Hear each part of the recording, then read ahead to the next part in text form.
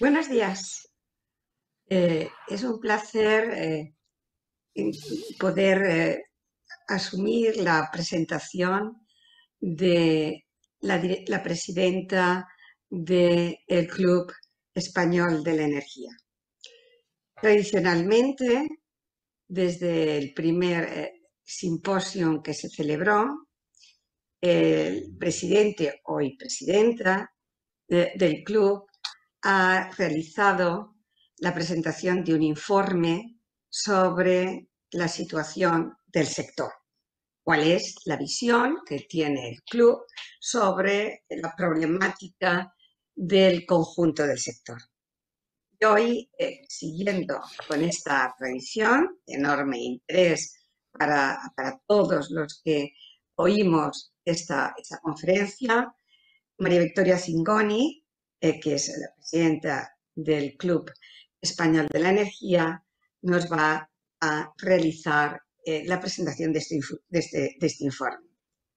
Y quiero, si se me permite, señalar que la satisfacción es doble por el interés que tiene este informe y por el hecho de que es la primera vez que una mujer preside el club y que creo que expresa la creciente presencia de eh, mujeres en el sector. Y nadie mejor que, María Victoria puede eh, realizar esta presencia y este paso en instituciones como es en el club. Eh, presidenta, gracias por estar aquí. Tienes la palabra. Maite, muchísimas gracias. Eh, vicepresidenta del Gobierno y ministra de Transición Ecológica y Reto Demográfico, Teresa Rivera, presidente de FUNSEAM y Enagas, Antonio Yardén, directora de la Cátedra de Sostenibilidad Energética de la Universidad de Barcelona, Maite Costa, amigos, amigas, buenos días a todos. La verdad que es un verdadero honor para mí estar participando en esta eh, novena edición, en esta novena edición del Simposio Internacional de FUNSEAM. Eh, Maite, Antonio, Joan, eh, muchísimas gracias por hacer partícipe a Club de este encuentro de referencia desde sus comienzos. Como bien decía Maite recién, tradicionalmente se nos pide que hagamos un balance de lo ocurrido en el campo energético durante el año para después centrarnos en la temática central de este simposio. Y así lo haremos hoy también. Como todos sabéis, a nadie escapa que el año 2020 ha sido un año, yo diría, único en la historia reciente. Cuando comenzamos a tener noticias del COVID desde China, creo que nadie imaginaba las terribles consecuencias ni cuánto durarían. Diría que aún no lo sabemos. La amplitud de la crisis sanitaria, social y económica está aún por ver. Las compañías y la sociedad en general estamos todos haciendo todo lo posible para tratar de sobrellevar y superar las circunstancias que nos están tocando vivir. La incertidumbre continúa siendo máxima, aunque la evolución positiva de las vacunas va mitigándola y también nos aporta esperanzas. No obstante, la realidad es que según el Fondo Monetario Internacional, la caída prevista del PBI para este año es, es de cerca del 5% en el mundo. En Europa se prevé un descenso superior al 7% y en España entre el 10 y el 11%. El escenario energético global se ha visto completamente alterado con una contracción de la demanda que podría llegar al 5%. Según la Agencia Internacional de la Energía, esto es siete veces la caída que ha sido en la crisis del año 2008. Otra consecuencia de esta situación es que las inversiones en el campo energético también se han visto mermadas, casi un 18%, lo cual podría tener importantes repercusiones sobre nuestro futuro si no abordamos realmente este problema. También se ha experimentado una tremenda volatilidad en los precios de las materias primas, sobre todo en el primer trimestre del año, del año pasado, cuando hemos visto hechos realmente extraordinarios como la cotización en negativo del índice de West Texas Intermediate por, por primera vez en la historia. Es verdad que si vemos las estimaciones, las emisiones de CO2 se han reducido alrededor de un 7%, pero sabemos que dicha reducción no es estructural y es posible que se repunten en el corto plazo. En resumen, estamos observando una caída y afectación global en la demanda de todas las fuentes de energía, distribuida de manera diferente después en otros sectores como geográficamente, con el impacto económico que esto conlleva a todos los agentes. Aún así, y a pesar de la crisis de la pandemia, la transición energética no se ha ralentizado o postergado, sino todo lo contrario. Se ha continuado el desarrollo de las políticas energéticas y medioambientales destinadas, encaminadas a esta transformación que tenemos que hacer. Y en muchos casos se ha tomado como objetivo para la salida de la crisis, como está ocurriendo en Europa. Países como China, Japón o Corea se han unido a la Unión Económica Europea, la Unión Europea, anunciando planes de descarbonización y neutralidad de emisiones al año 2050 o al año 2060. Incluso ahora todo apunta a que la nueva administración de Biden seguirá también en esa línea. Contar con un nuevo gobierno estadounidense tiene muchas implicaciones y su reincorporación al Acuerdo de París es una de las más relevantes, especialmente para nuestro sector, para el sector energético. Con esta adhesión, las economías mundiales responsables de dos tercios de las emisiones de CO2 se habrán comprometido a alcanzar esa mencionada neutralidad de emisiones netas a mediados de ciclo. También en el mundo empresarial, especialmente en Europa, las compañías siguen presentando estrategias para contribuir a los objetivos medioambientales, compatibilizándolas, por supuesto, con los difíciles o desafiantes ejercicios económicos que nos ha traído el año 2020. La tecnología, la tecnología también está jugando un papel importante y su presencia ha sido abrumadora durante este, durante este periodo, igual que muchos desarrollos, desarrollos tecnológicos que vemos cómo se están acelerando. El principal ejemplo de esto para mí ha sido la ruptura de las barreras digitales. Se ha demostrado que la inversión en tecnologías digitales es una apuesta segura y quienes la habían realizado han tomado una ventaja competitiva.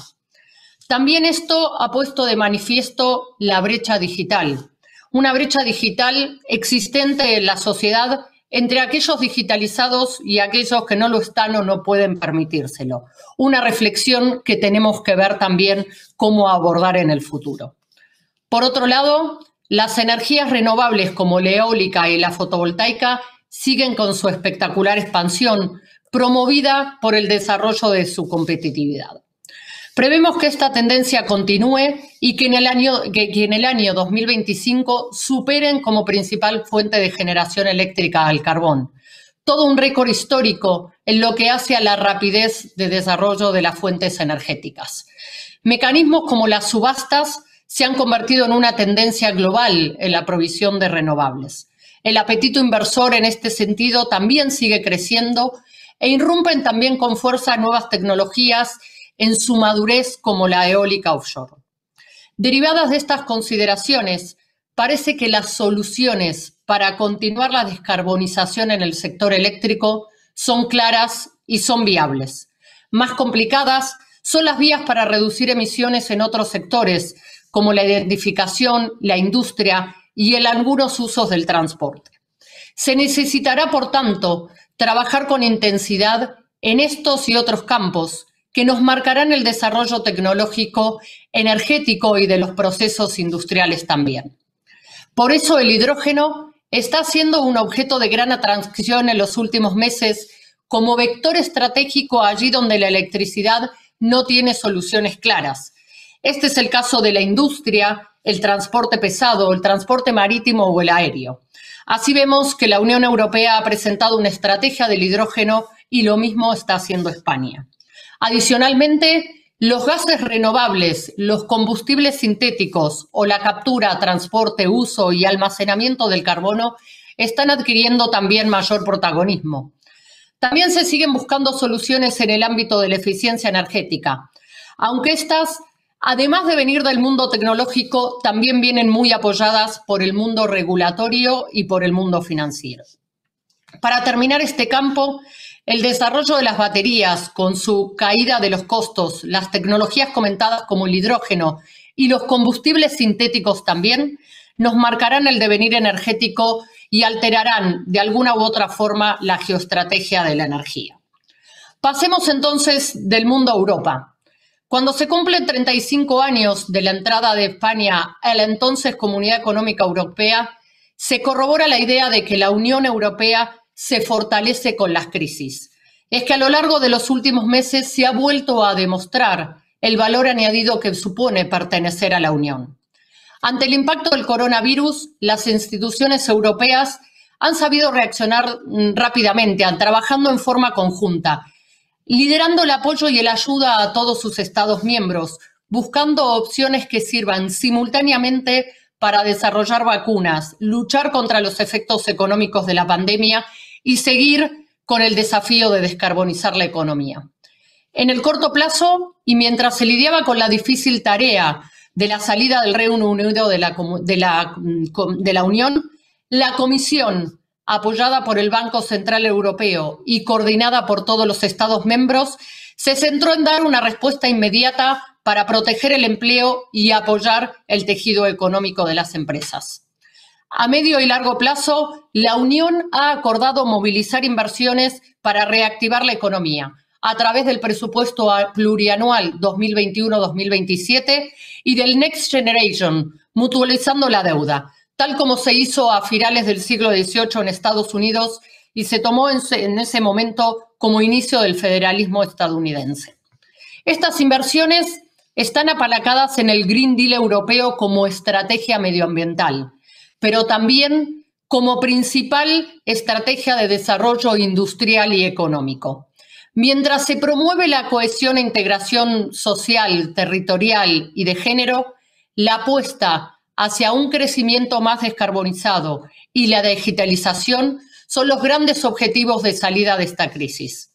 Por eso, Europa también ha acelerado el refuerzo regulatorio, poniendo en marcha toda una maquinaria para continuar desarrollando las medidas anunciadas por el Green Deal, incluyendo la Ley de Cambio Climático, la Estrategia Europea al año 2050 o elevando la reducción, eh, la ambición de reducción de emisiones de CO2 para el año 2050 del 40% original al 55% que tenemos hoy. El camino emprendido por la Unión Europea no es sencillo. Quedan muchos aspectos por concretar. Sin embargo, creo que Europa ha optado por el buen camino al colocar la transición energética y digital como epicentro de la reactivación económica. Como todos sabéis perfectamente, España también ha sido y está siendo un país muy afectado por el COVID. Las previsiones de caída de la demanda en el sector energético en 2020 son de más del 5,5%. También en este año móvil la demanda de gas se ha contraído en entorno superior al 9%. Y en el ámbito de los productos petrolíferos, todos los productos han sufrido. El queroseno lo ha hecho en más de un 65%, la gasolina en más de un 20% y el gasóleo en más de un 16%. Durante todo este tiempo, a pesar de todas estas circunstancias, todas las compañías del mundo energético se han comprometido de manera ejemplar. Gracias, yo diría, al excelente equipo profesional con el que cuenta el sector, se ha asegurado que la energía llegara allí donde fuera necesario, cuando y donde era necesario. Las empresas han lanzado también diversas iniciativas para ayudar a sus clientes como también colaborado con la Administración en todo lo que, se ha necesitado.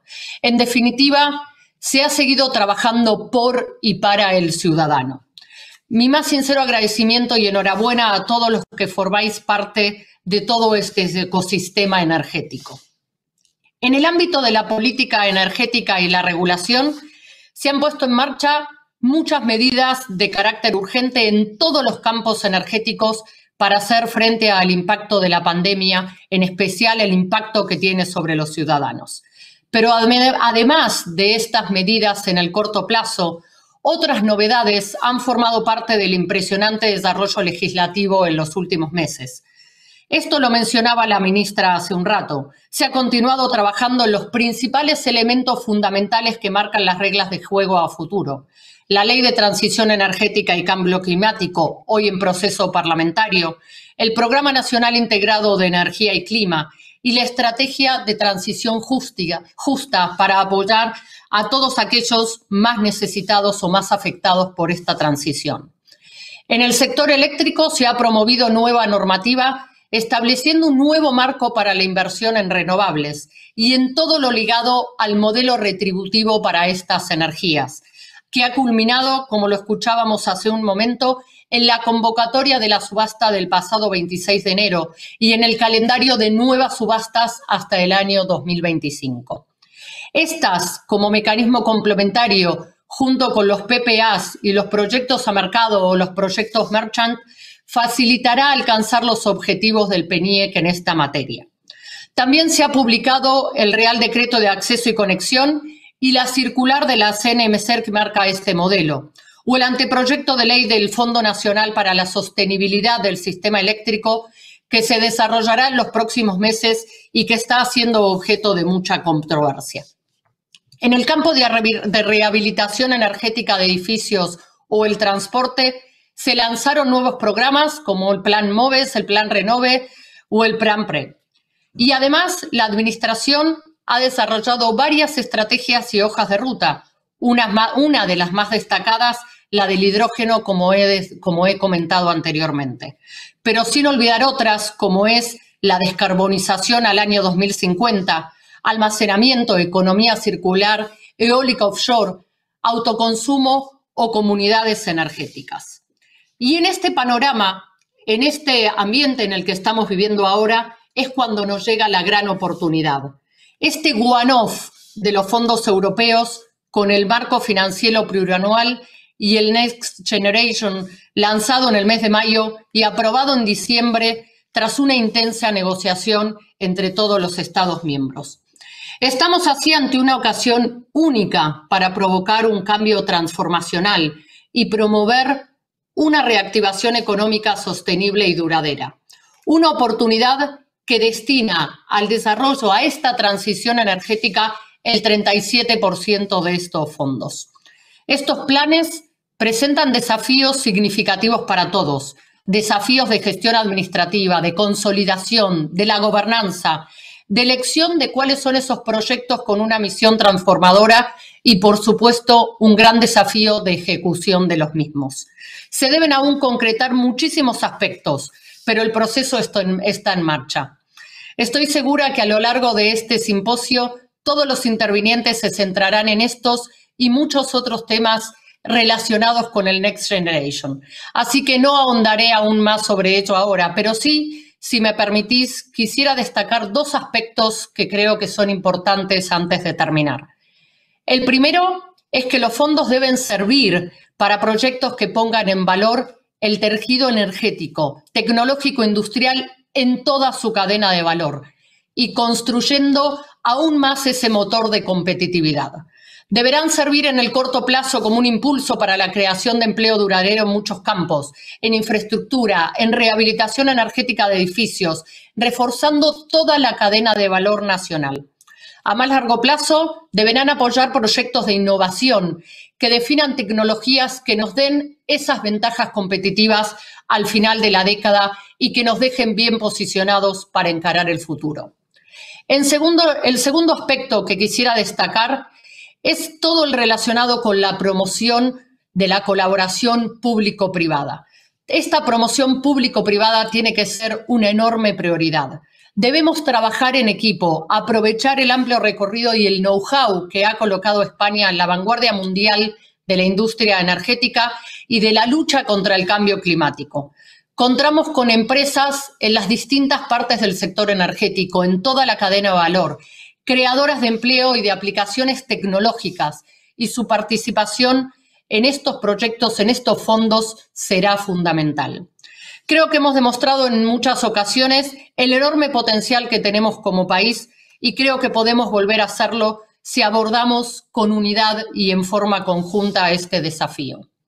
Nos espera un año intenso, tanto desde el punto de vista regulatorio, desde el legislativo, desde las estrategias de las compañías con los consumidores, en seguir haciendo frente a esta pandemia y en construir ese futuro eh, con enormes oportunidades para todos y con el apoyo de los fondos. Tenemos mucho trabajo por delante, sin dudas, pero lo que hagamos ahora marcará la economía de nuestro país en las próximas décadas. Creo que podemos hacerlo bien si lo hacemos todos juntos. Termino aquí. Quiero reiterar nuestra felicitación y nuestro agradecimiento a FUNSEAM por organizar estos simposios y por contar un año más con el Club Español de la Energía.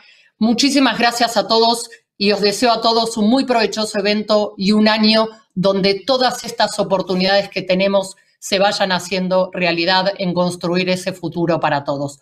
Muchísimas gracias.